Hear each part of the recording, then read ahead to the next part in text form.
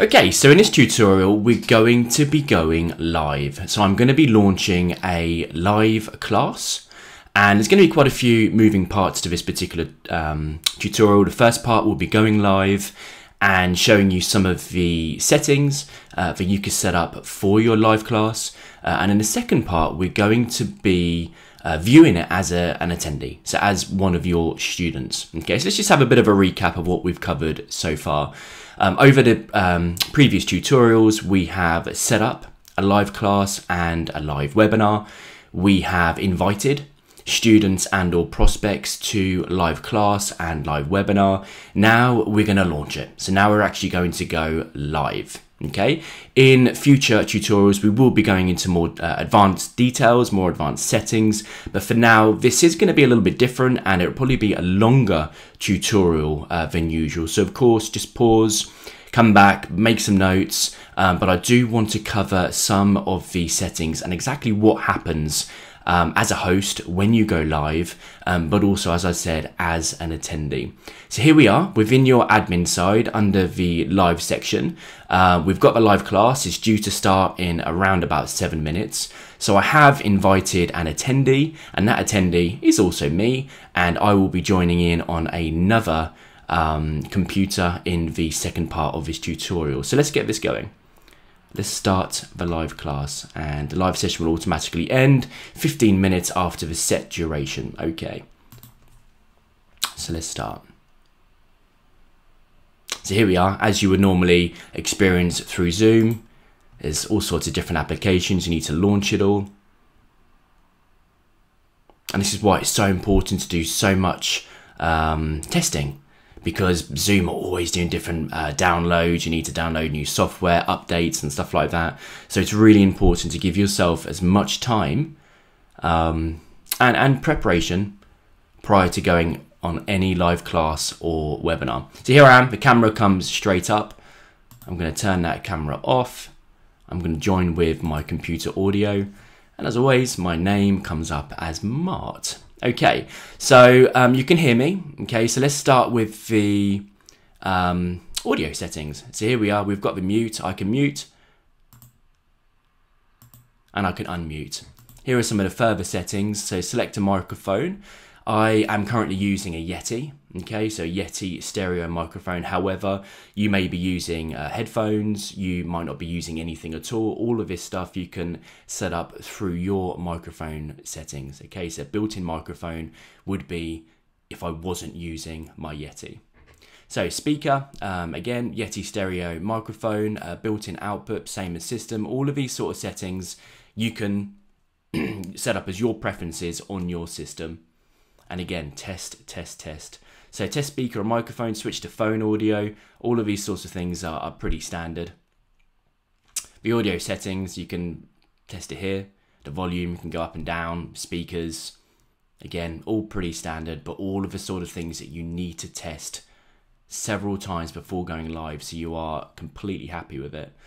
Um, here you've got the video, and of course you can turn it on, hi, or you can turn it off you have the settings here. So I've currently got the FaceTime, the normal uh, Mac um, camera built in. Uh, I've also got uh, the Brio cameras and stuff like that, which I tend to use for my videos, um, which again is just a USB. I would click that into my computer and that option would come here as well. So it'd be uh, a Brio um, HD 1080p or whatever it is, and I can press on that.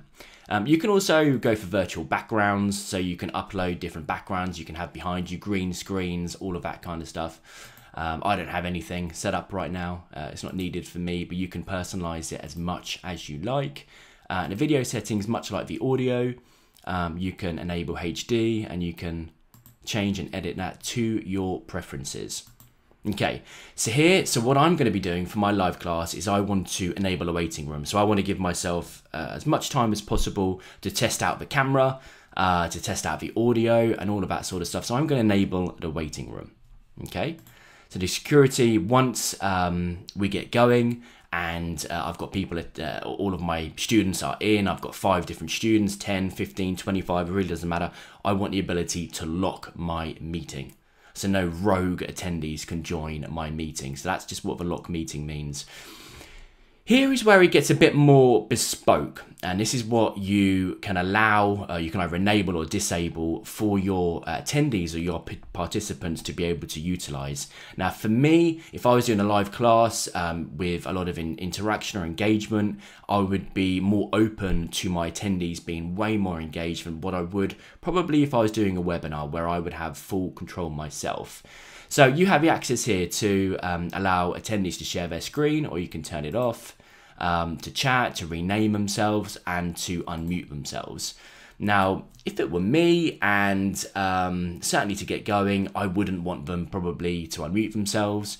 But in the same in the same part, if there's just five students I've got on a call and there is a lot of engagement and I want them to introduce themselves, then again maybe I would allow my participants to unmute themselves. But this is again what you can control from your dashboard here um, within your live class. Again, all of this is pretty straightforward. Participant uh, is me, uh, is Mart. Um, and I can rename myself. Uh, I've got the invite link. I can mute all of my people. Um, from this setting here, I could mute participants upon entry, which is what I would personally do. But again, if I've just got a small class setting, probably isn't relevant. Um, you have the option to allow participants to unmute themselves, play sound when someone joins or leaves. Personally, for me, that drives me absolutely bonkers. Um, so I would absolutely turn that off. I wouldn't want the chime sound whenever anyone is entering or, or exiting. Um, again, lock meeting straightforward, absolutely. Um, this is a chat box where you can um, communicate, you can chat with your attendees, and you can also send files, and you can also send messages to individual people or individual attendees, which you would see when you have more than just one um, attendee. Um, share screen, this is really important. Um, so here you can see we've got the desktop um, which is if I was sharing my slides, then I'd be sharing the screen here. Um, you need to authorize all of this with your um, account here before going live um, and possibly restart it as well. So again, give yourself plenty of time when you're doing this. The, the whiteboard option um, is, is pretty good for uh, those of you who are teachers and you've got your um, students and stuff here. So when you've got the whiteboard, uh, you can write stuff in, you can doodle, you can add all sorts of bits and pieces, so text. Hi there, uh, you can draw uh, different lines, um, spotlight, you can stamp. Uh, so let's just draw a wiggly line, hi.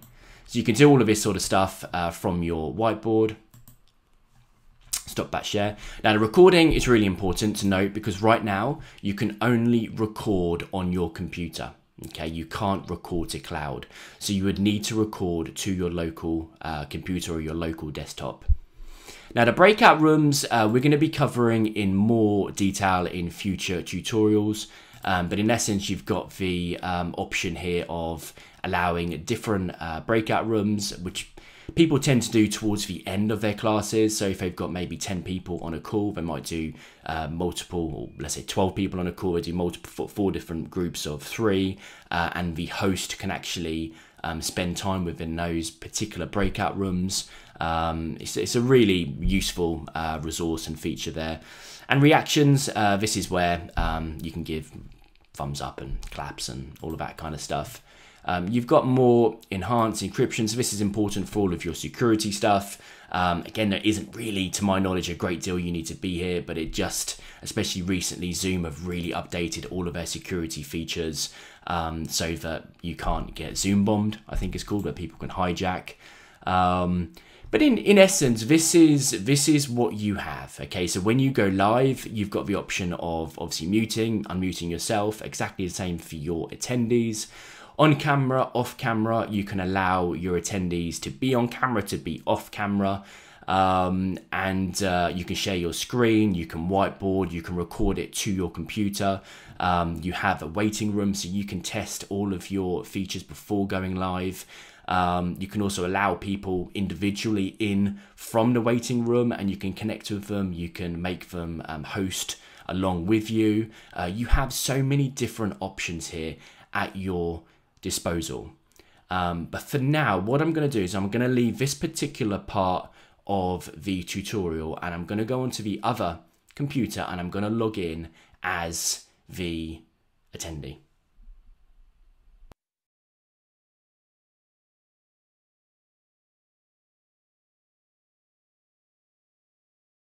Okay, so here I am. I am the attendee just about to join my live class. So here I am. I'm going to join the live class.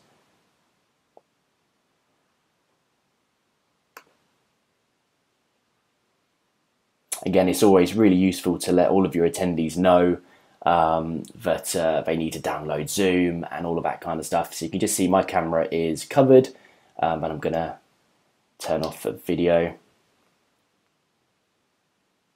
So here I am. So as uh, in the earlier part of the tutorial, I set up a waiting room. Okay, so here I am on my other computer wanting to join the meeting. And as it says, me, it's obviously multiple me, me the host, I've got the waiting room and me the attendee. I'm like, come on, let me in. So as so on my so as in the presenter on my screen, it now shows two attendees. So I've got one in meeting and I've got one waiting. I'm going to allow, as the presenter, I'm going to admit me, which will now prompt me as a, an attendee the ability to join the call. Okay, so I'm going to turn off my video and get rid of that pink thing. But here I am joined with computer audio. So I've got Mart and I've got Martin Hickey, which is perfect. Um, as the attendee, you can see I've got the option to be mute or unmuted. So me as an attendee had allowed myself to join in unmuted, which is fine, absolutely perfect. Um, I have the ability to be on camera or off camera. As an attendee, you can see I've got two attendees, Martin Hickey as in me, and Mart, the host. So again here, mute, unmute, I can rename myself, all of these sort of things we covered in the earlier tutorial. I have the option here to chat. Hi Mart. So I can send that to me on the other one as in the host. Um, share screen option, so I've allowed myself the option to share screen. So as you can see, as an attendee here, uh, I've got access to everything that I need to be able to watch you as a presenter and join in as in the fully fledged kind of engaged live class.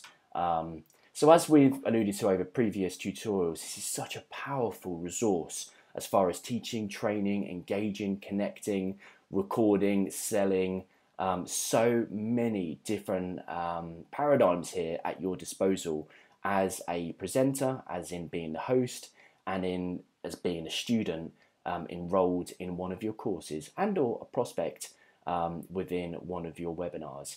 So I'm really hoping this tutorial has given you uh, a bit more of an in-depth overview of setting up a live class and webinar, um, inviting, and of course going live as a host and a presenter, and also what it's like going in as an attendee.